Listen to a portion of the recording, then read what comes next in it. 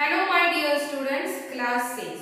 So in the next session of geography lesson motions of the earth, we are going to discuss about the seasons as well as the solstices, summer solstice, winter solstice. But before that we will see that what is the elliptical orbit. Okay, so let's start. Now see uh, in your textbook figure number 3.3. So by seeing that figure, it is clear that the earth is going uh, around the sun in the elliptical orbit. Okay, now see, I will explain you. The earth is going uh, around the sun. Okay, in the same position.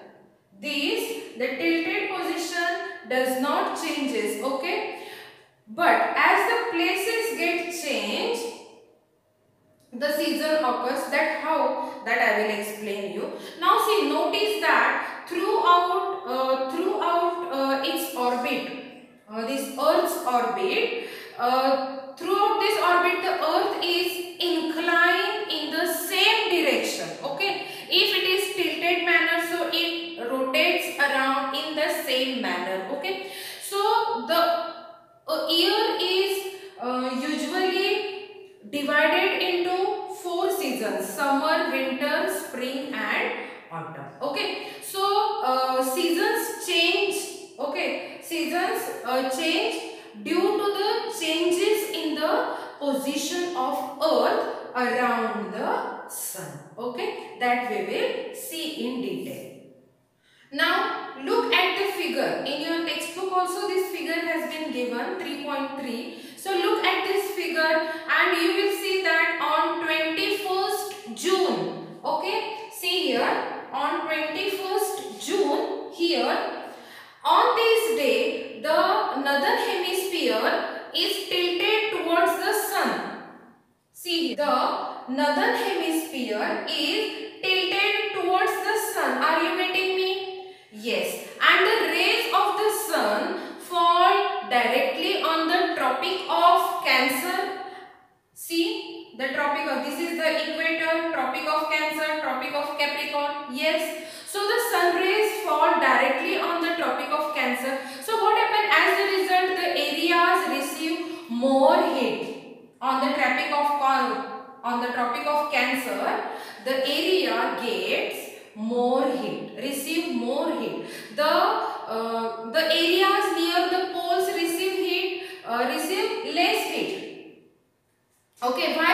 Because the sun rays are slanting. Okay, the north pole is inclined towards the sun and the places beyond the places beyond the Arctic Circle experience continuous daylight for about 6 months. See, are you getting me? Huh? So see this this area, the, the north pole is inclined towards the sun. So that is why what happened? It experiences, the area experiences 6 month daylight. Okay.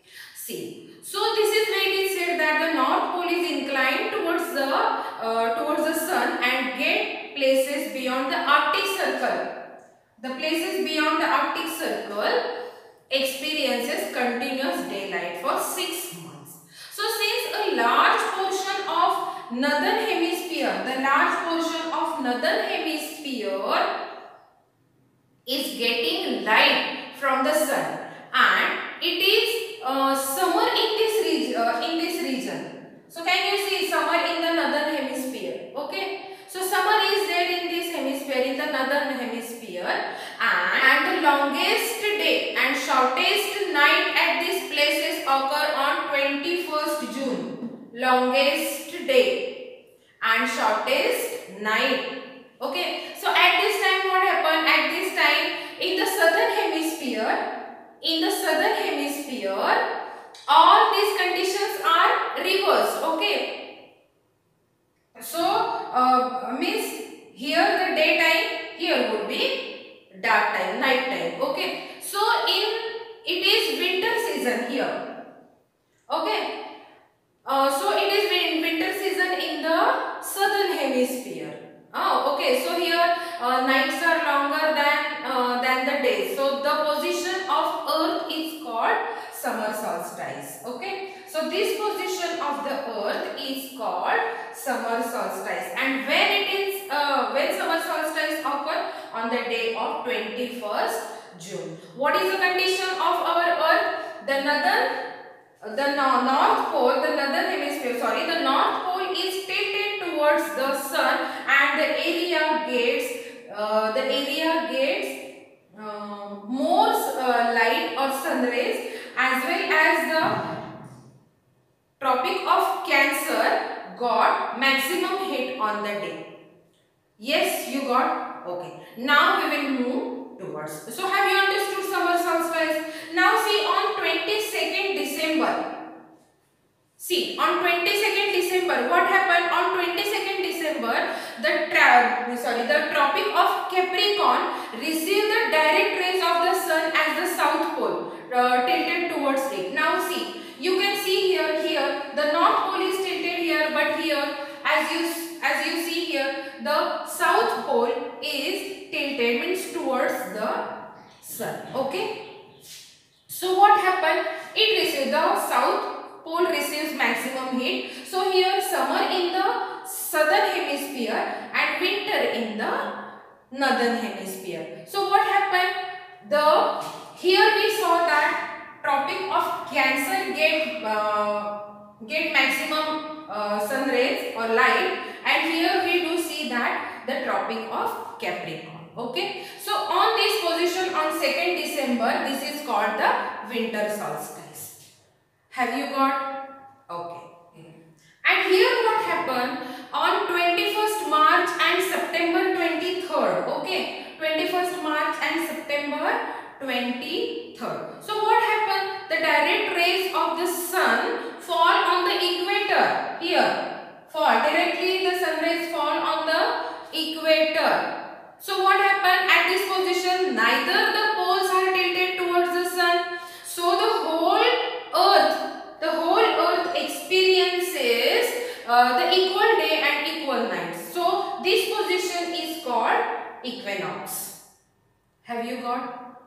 Okay. Now see on 23rd September here on 23rd September it is it is autumn autumn season in the northern hemisphere and spring season in the southern hemisphere. The opposite in the case of 21st March it is on the northern pole spring is there and to the southern pole autumn season is there. Okay. So in this way, in this way you can find that there are days and nights um, uh, and changes in the seasons because of why? Because of the rotation as well as because of rotation as well as the revolution of the earth. Okay. So that is why the seasons occur due to the revolution of the earth respectively. So see on the day of 21st June it is summer solstice because sun rays falls directly on the tropic of cancer. So here summer uh, summer in the northern hemisphere and winter in the southern, uh, southern hemisphere. So as we uh, see opposite side here on 22nd December the the tropic of Capricorn receives maximum heat. So here and see hence it is the southern pole is tilted towards the sun. So there is a summer in the southern hemisphere and there is a winter in the northern hemisphere when on the 22nd December and there is a winter solstice on day of 22nd December.